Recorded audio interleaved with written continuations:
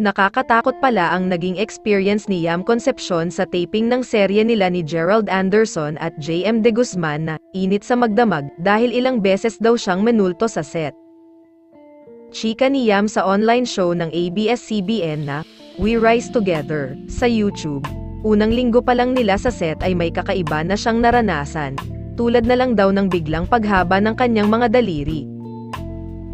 Nung first week namin ng taping, nabati ako sa taping. Nagulat ako kasi humaba yung mga daliri ko. Sabi ko, oh my god. Coach, ako lang ba o mahaba talaga yung kamay ko, yung mga daliri ko? Sabi ni Coach ko nga ma'am kaya ako naiilang na tumingin sa'yo, kwento ni Yam habang kinikilabutan.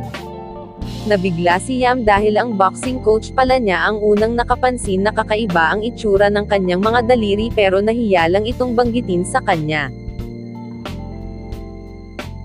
Kwento rin ni Yam, may isang araw rin na napansin ng staff at co-stars niya na tila distorted ang mukha niya at parang lumulubog.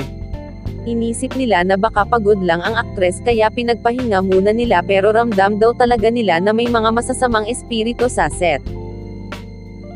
Oh my god, sabi ni Miss Saki, ay Yam bakit ganun yung mata mo, parang distorted daw.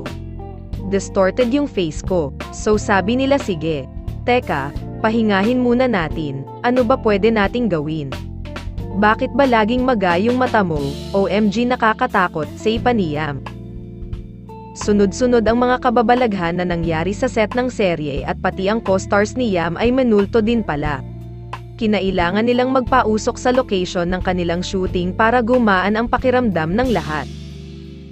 Anyway, tinututukan na ng fans ang finale week ng hit seryeng Init sa Magdamag, at kung ano ang magiging ending sa relasyon ni Narita, Peterson, at Tope na ginagampanan ni Yam, JM, at Gerald.